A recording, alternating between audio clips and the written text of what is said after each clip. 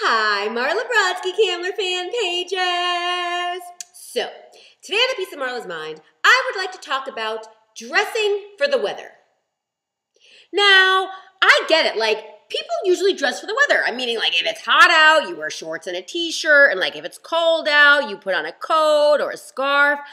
But what people always forget to dress for is the wind. Case in point, it has been very, very windy. And today, I didn't even think about that because I'm thinking, okay, well, it's kind of chilly, all right. It's kind of like, you know, nice out, but has a breeze, but nothing big. I'll just wear a jacket over my little dress that happens to fly up when the wind blows. I swear to God, I almost died. I'm like walking through this like wind tunnel at the Galleria. All of y'all from Sherman Oaks, you know what I'm talking about, right? Mm-hmm. So I'm walking through, and suddenly it was like whoosh, on Marilyn.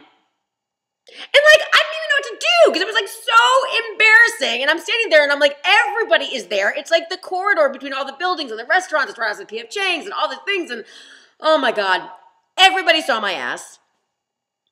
Everybody saw my ass.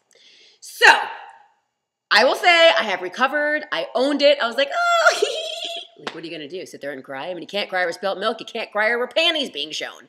So, anyway, for everybody out there, before you're getting dressed in the morning and you're dressing for the weather, just remember one little thing. It's not just about being hot, it's not just about being cold, it's also about the wind. So, unless you want your britches being shown to the whole world, remember the wind blows.